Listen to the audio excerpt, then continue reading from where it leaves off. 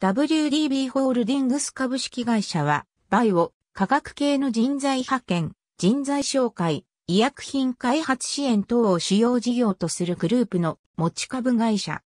創業者で現社長の中野俊光が1985年に兵庫県姫路市で創業した株式会社ワークデータバンクを前身とし、グループの持ち株会社としてグループ会社の経営管理を担っている。2002年に WDB 株式会社に社名変更し、2006年にはジャスダックに上場した5月19日、上場廃止。またた2008年東京証券取引所2部に上場。その後2013年12月13日、東京証券取引所一部指定された。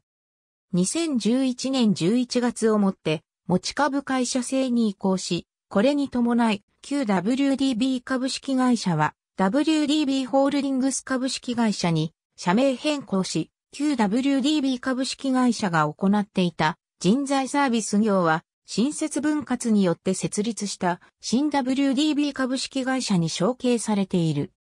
現在は理学系研究職に特化した人材サービス事業をはじめとして医薬品開発に関わる業務を行う黒事業、人材サービスのノウハウを高度化させ新たなビジネスモデルで事業を立ち上げる、プラットフォーム、その他事業、グループ戦略補助事業を通じて、WDB グループに多数在籍している、理学系研究職人材の能力を活かし、企業価値を高めることと同時に、グループ全体の事業規模を拡大する取り組みを始めている。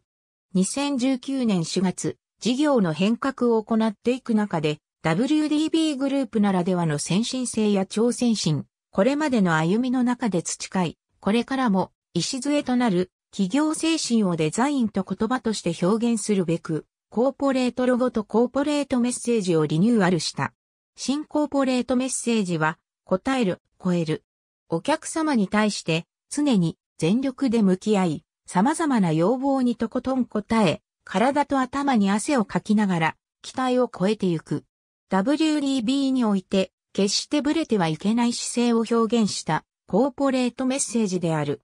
WDB 株式会社ホームページを参照外部、リンクイコール https コロンスラッシュスラッシュ www.wdb.co.jp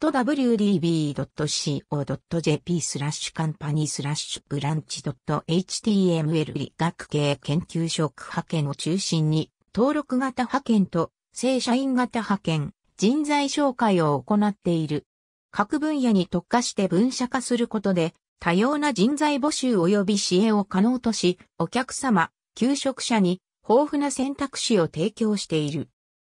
医薬品、医薬部外品等の基礎研究における実験業務と臨床試験以降の開発業務を代行、支援。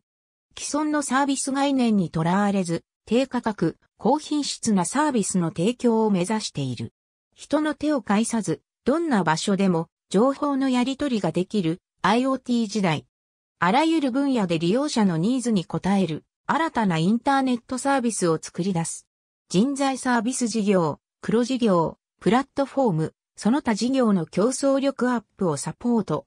ありがとうございます。